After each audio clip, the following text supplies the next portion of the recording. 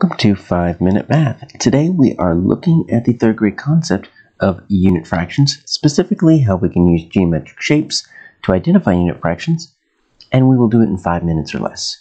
So first, unit fractions represent one part, just one part, and they have to be congruent.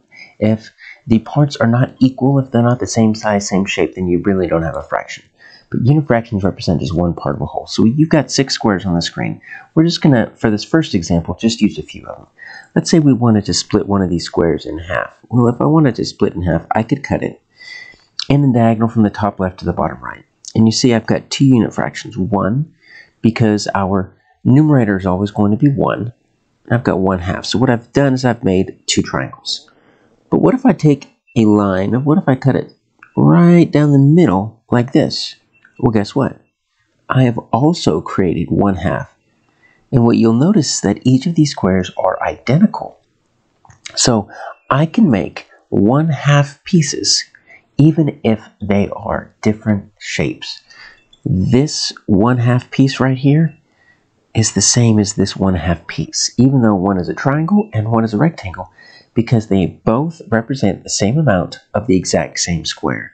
It wouldn't work if the squares were bigger or if one was a rectangle, but it's kind of hard to see that they're both one half because they're different shapes. What you could do if you really needed to is you can cut some parts off the triangle and you can kind of put it on down here and you can end up making a rectangle that looks just like this. Also, if you cut it sideways, it's also going to be one half.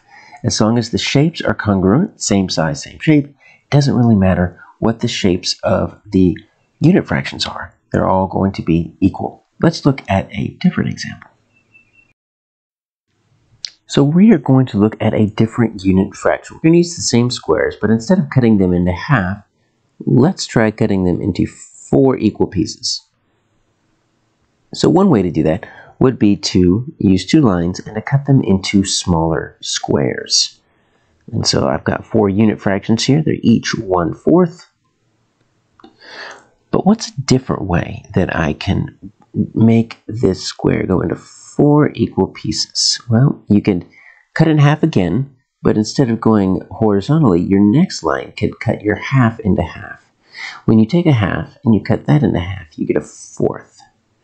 And so now I've got four long rectangles, and these long strips are each congruent, and they each represent the amount of space right here. This one-fourth is the same as this one-fourth. Even though they're shaped differently, they're both a unit fraction of the exact same square. And you can kind of imagine if you take this particular rectangle and you cut it in half and then you put the two sides next to each other, you would get those two. You would put those two together, you would get that square. Now what happens if we were to do this?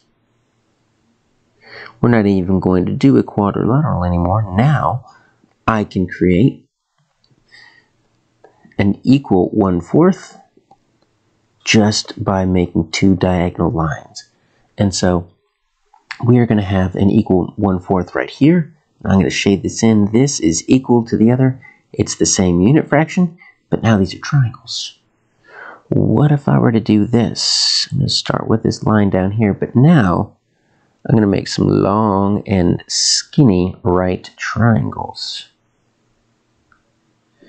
And now you see we've got this, but once again, it's the exact same square cut into four equal pieces. And it's my unit fraction. Remember, my unit fraction always has a numerator of 1. That's the top number. It represents just one piece. Always has a numerator of 1. So this particular long right triangle is going to be the same as all of these other shaded pieces. And finally, what if I were to do this? I'm going to start like this up again. But if I could take my triangles and I could just make them go like this. It ends up being the exact same triangles as the other one. It just looks a little bit different. But all of these are one-fourth. Let me shade this in right here. This is going to be equal to all the other one-fourths because they are congruent and because they each represent the unit fraction of one out of four pieces.